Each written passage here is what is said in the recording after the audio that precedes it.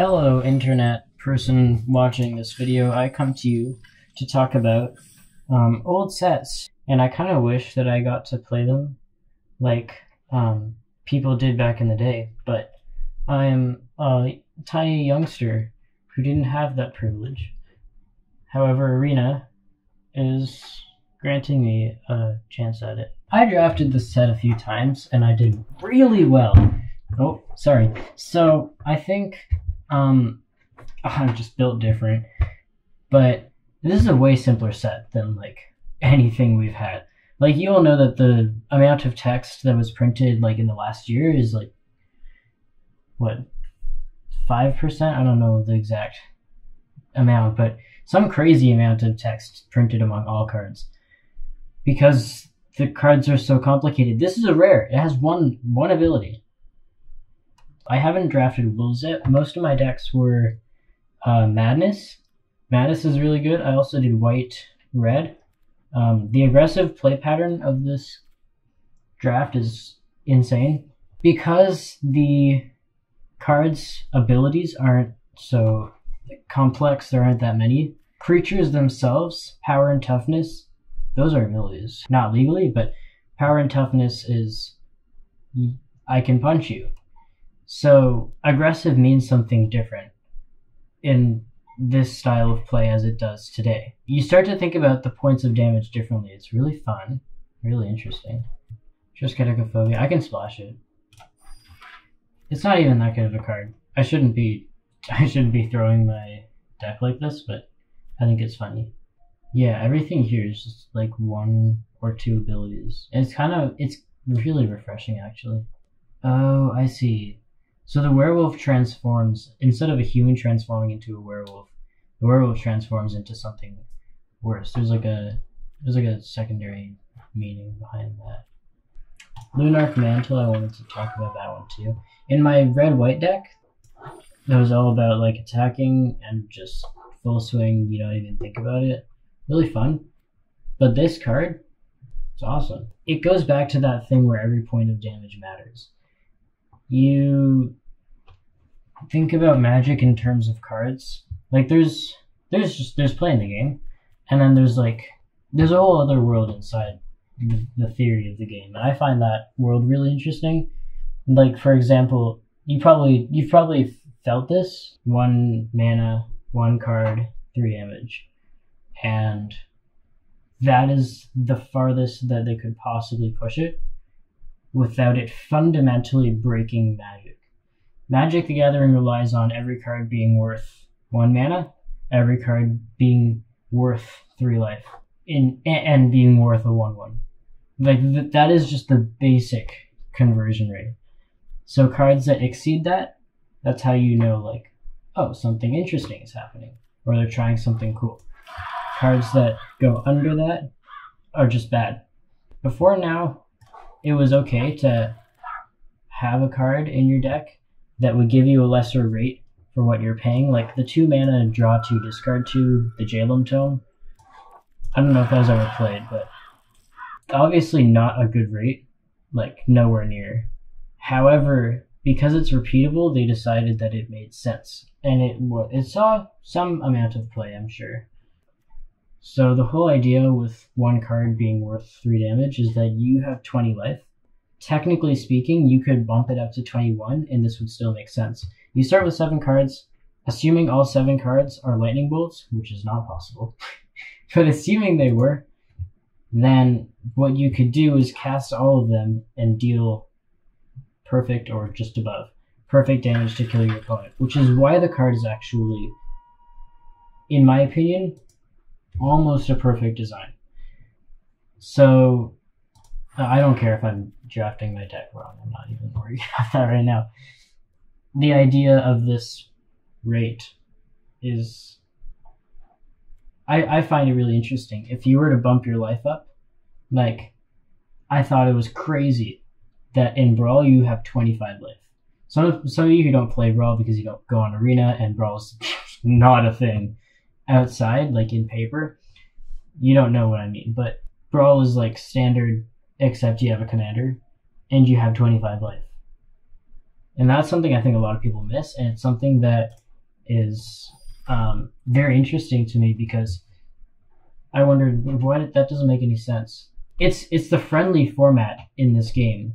So I was like, okay, so it's just like friendlier to new players, I guess. They give you a free mulligan too, and it's only two players. It's not supposed to happen, but they do. Now, now saying that the 25 life thing, I realize they're taking into account your commander, and they're taking your commander as four damage, which makes a lot of sense because it's going to be a good card. And it's going to be worth more than one mana. So probably.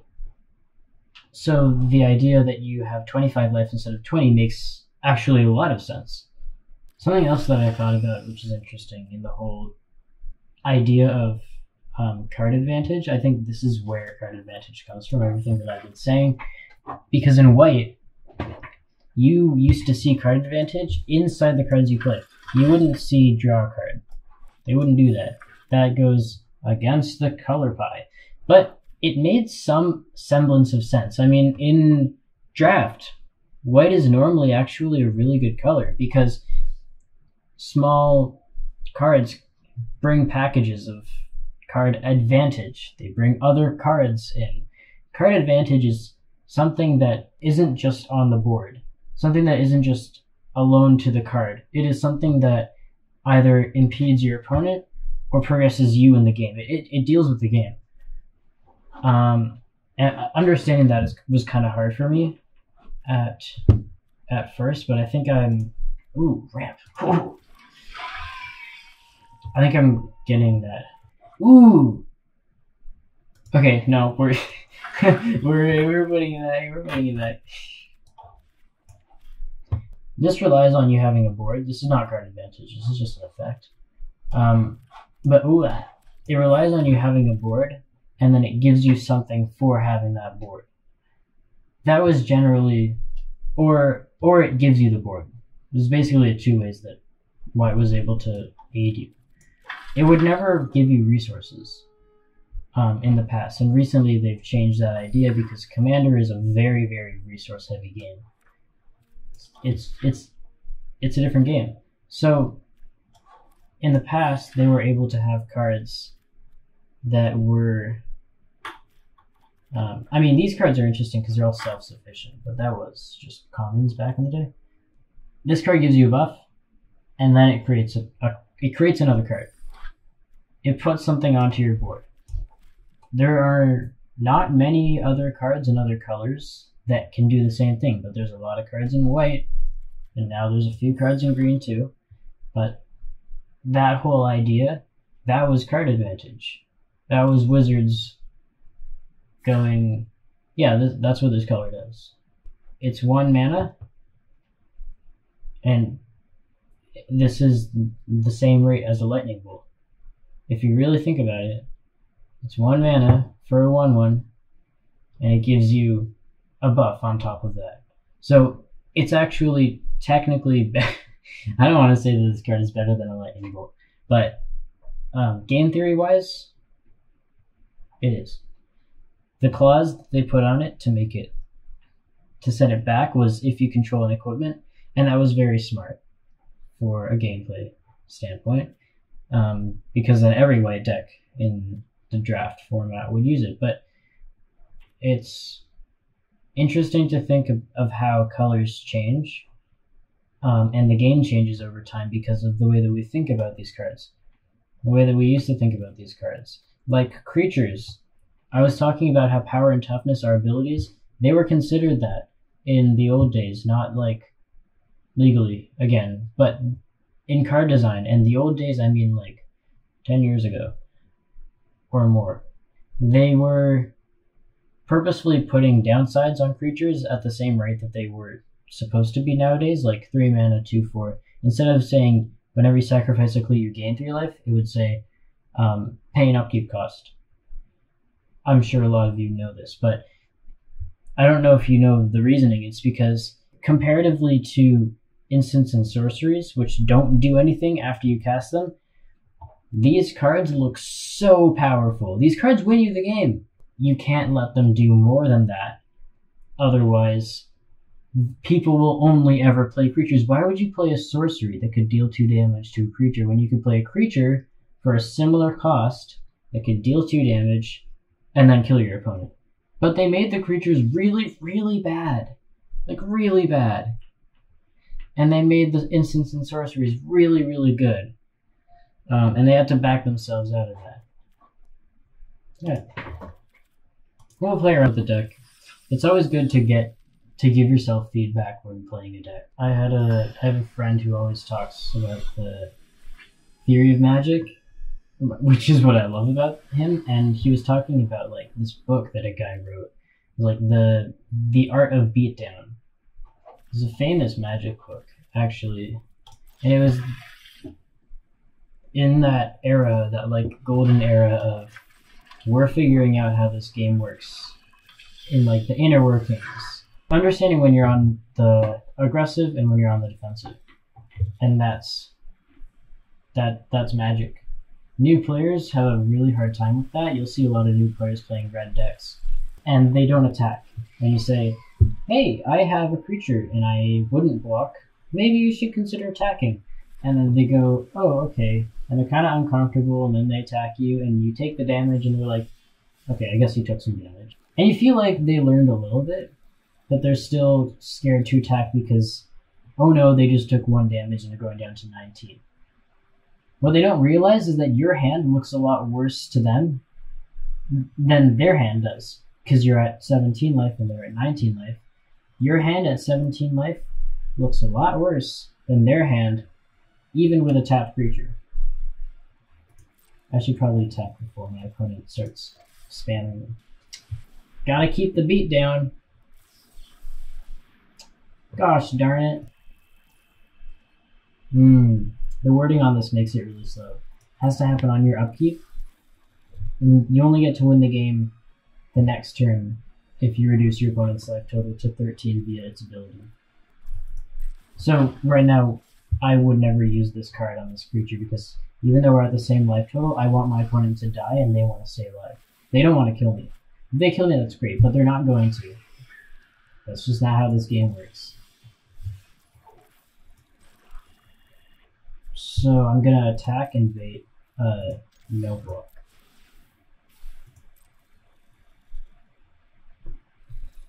Yep. This is just a 3-4. I can take 3 damage. Because that 2-2 body, if I had killed it, I waste a card, I waste a 3 damage. My opponent loses a card, but it was tapped. So what do I benefit from it? My life total is completely irrelevant right now because I'm on the beatdown, my opponent's defending, which makes that attack look pretty bad if they can't follow it up with a creature. I don't know how they achieved this rank. I mean, I guess they're holding up um, mana for something, so I could just swing in. Oh, forgot that card's a thing. It's a good use of mana. Okay. So it looks like they're about to flip the the switch, and now hmm, are they on? The, okay, they're not on the attack just yet. They're not ready.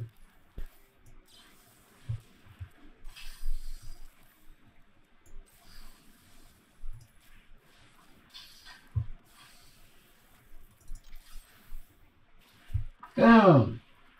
I watched a video from the professor on mulliganing, and I mean, most of this stuff is it's pretty basic, but like it's basically saying think think about it. Can your hand can your next hand beat this hand? Will it? And if it will, then why would you not mulligan? You're only losing one card. However, if you plan to be on the beatdown, that one card is that three damage that you need to kill your opponent. Of course, when I say lightning bolt, I don't mean exactly that card is a lightning bolt. It can't be. But because you can't have seven lightning bolts in your deck. But it's a it's not even a metaphor. It's uh, comparative to the idea that those hands reach you towards that total of 20 or in Lightning Bolt case 21. Uh, this is a really weird block because it's preventing two damage. Okay, there it is. I wasn't reading my cards. So, yeah, I'm just gonna do that. I was reading that. Was like, I wouldn't mulligan unless I had a really crappy hand because that one card is that uh, three or two damage that I need to bring my opponent's life total down. Without that one card, my opponent can actually just take the damage, wait until they have a chance to strike, and then use that chance to kill me. That's the control, that's the flip. You flip from being the defender to being the aggressor. The reason I just won this game is because my opponent never became the aggressor. You can have control as an aggro deck. That's that's actually the idea of aggro. It's not it isn't just blind attacking. No matter how fun that is. But you can control the control deck. In, in fact, that is how you win. Because because on my upkeep, my opponent would have went to zero life exactly,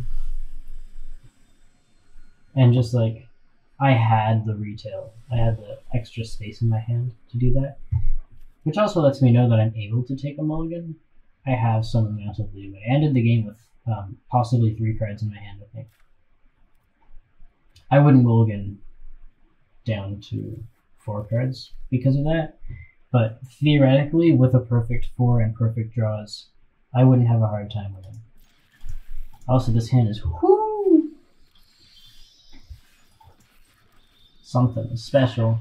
We're both trying to figure out what's going on right now because it's the same deck. So there's going to be a lot of push and pull. If one of us is a very, very good player, then it would be easy to find who's pushing and who's pulling. But we're not. We're gonna make mistakes. Like attacking. That was probably if I end up winning this game, that attack was a bad move. If they end up winning that game, this game, that attack was a good one. It's hard to tell these things. Wow. I've seen this play. You have something, but I, I don't care. Because I have another arsonist. Oh, I just wasted your turn. One of the best feelings. Oh, ugh.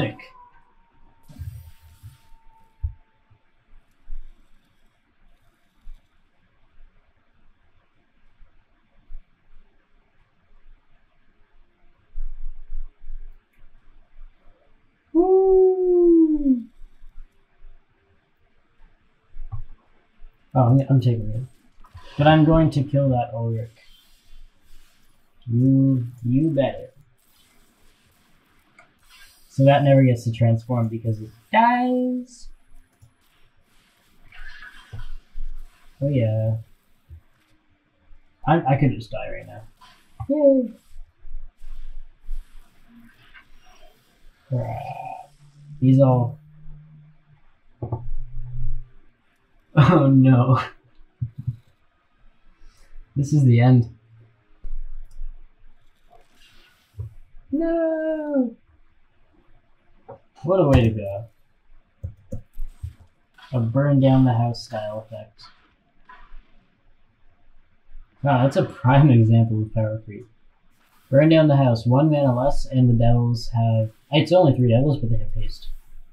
You can also use it as a wrath. Ah! Yeah. I hope you learned something. Anything.